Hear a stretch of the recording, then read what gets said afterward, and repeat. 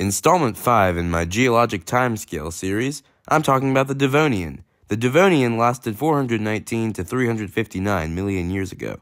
It's often referred to as the Age of Fish due to the rapid growth and diversification of fish. There were placoderms, such as the famous Dunkleosteus, which grew up to 10 meters or 33 feet long.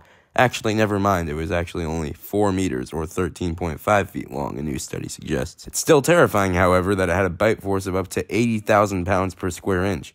Other fish, like early sharks, ray finned fish, and lobe finned fish, became more common as well. On land, vascular plants evolved true roots, leaves, and woody tissues. They also got much larger. This plant development, in turn, helped increase the oxygen levels up to 25%, which caused insects and arachnids to continue developing, and for the first vertebrates to come on land. Early tetrapods, or four limbed vertebrates, took their first steps and arrived on land, like the Tiktaalik and the Ichthyostega.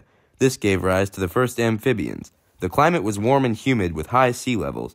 There were two supercontinents, Euramerica and Gondwana. At the end of this period was the Devonian extinction, which wiped out up to 80% of ocean life. Terrestrial life, however, came out relatively unscathed. This extinction was caused by a lack of oxygen in the ocean, volcanism, glaciation, and changes in ocean chemistry. Well, this was a period in time when the ocean was ruled by fish, and amphibians started coming to land. Oh man, those were the good old days. Be sure to like and subscribe.